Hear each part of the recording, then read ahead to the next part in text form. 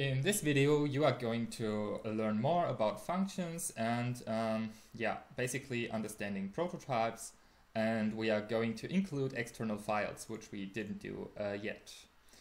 Okay, um, first of all, of course, we will use our basic construct to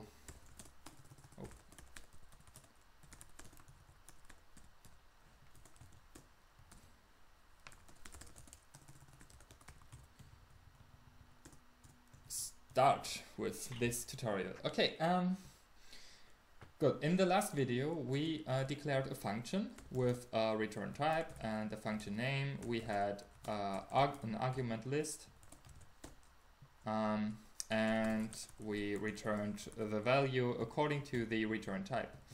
And now uh, I'm going to call that function.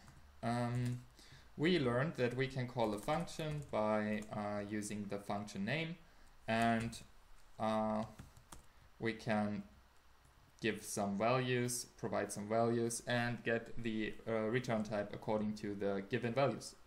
Okay, um, one thing here, I, I uh, have some static values here that is uh, perfectly okay. I told you in the last video that uh, if we provide this function call with some variables instead of static values.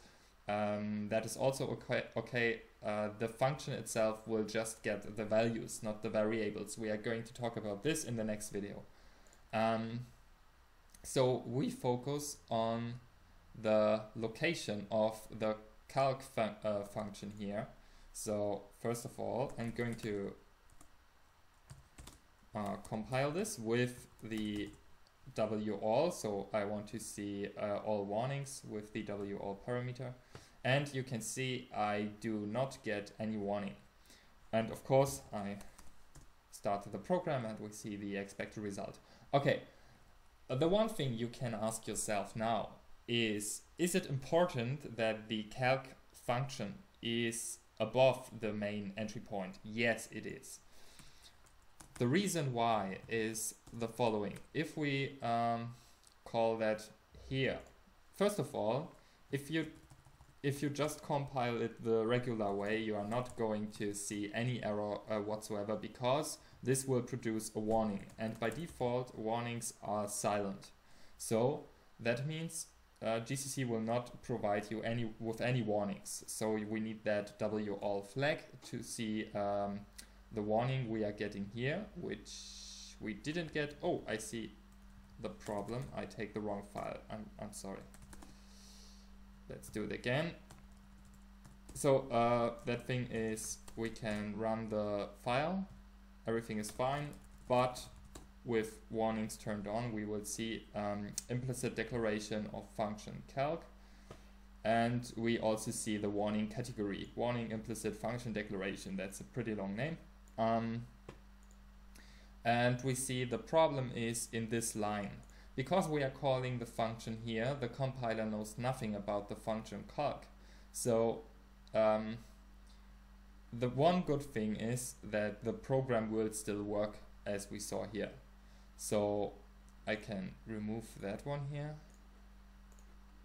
to show that because I compiled uh, a wrong file before. So if I compile this one, it will still give me an executable file. I can still execute that file and this time I took the right file. Mm.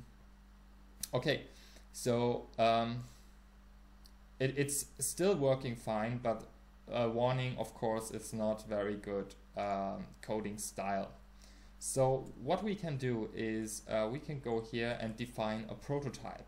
That means we tell the compiler um, there is a function calc which takes two integer values and uh, has a return value of integer. We no need to tell the compiler what this function actually does. We will tell that later.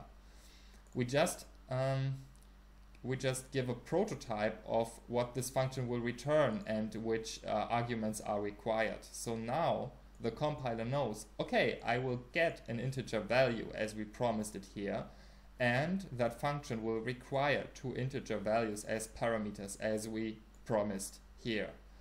So now, if we compile that, we are not going to get any warning whatsoever because the compiler knows we have promised this uh, prototype will exist in a uh, function with a function body. This is called the function body.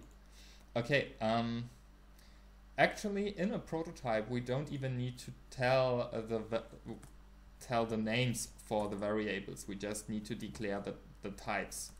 We just need to say, okay, we have a return type of integer, we have a name, and we have uh, two param parameters that are also integer types. If we are compiling this, it will work as well, and it will also run just fine. Okay, so why are we doing this? It's it seems like stupid. It seems like we can just go ahead and say, okay, we just we we are perfectly happy with uh, with the main entry point being the last function called. Yes, that is true, but imagine first you have um, more than just one function and maybe one function uses another function and you always need to make sure that all your functions are declared before you use them. So that will result in some confusing um, code style and uh, you always need to take care when to declare a function uh, or when to use a function if that one is or whether that one is declared or not. And uh, the second thing is maybe you want to use that function um, in more than just one file. Uh, in this case, maybe you also want to take the complete definition and share that to all of your files. But maybe the other reason is maybe you want to have the same prototype for more than one file, but you want uh, the function body to look differently. So in these cases, you can use prototypes. And we are going to use the prototypes, of course, in external files. That's why we are going to learn about external files in this video. And um, this is done by the include comment, like uh, we already know that from other libraries. And I will have a new um, file with a name .h. If you have a header file, the H stands for header. If you have another header file that is made by yourself, usually you give that um, header the same name as your um, source code file. Um, that, but that is just for um, header files that actually provide prototypes for this source file only.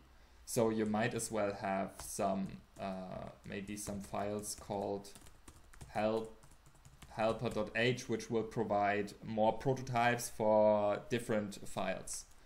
Okay, but if you have some prototypes or some functions only defined for this very file, you can use um, a file-specific header. Um, and now we can go ahead and we can put this prototype inside of this file. Okay, and um, one more thing about the include comment here. Um, if you have a C library that you are going to include, you will use uh, these tag braces. Um, if you have a header file that is located in your current working directory, you are using the um, the include command with the quotes, double quotes, and uh, you provide the file name and maybe also the folder. So it could be like this. Okay, and if we uh, if we do so, the file will be linked to our code, so we can still compile this. It would still run well without any error, and now we can um, use the calc function anywhere inside of our um, inside of our code. Um, like I said before, I have declared or I have declared a prototype here inside of the header file. Now I can include the header file in more than just one file and I can change the function body to whatever um, this file may need. So this function may change between files now. But I also can take this function and put it inside of here. And I can compile this and still run it and it will still know about the calc function and it will still everything uh, work fine. But now I, if I go here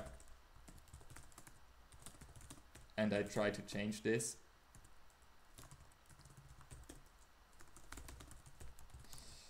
um, I get a problem. So now I can't change the function body, but I have a general um, definition for the calc function.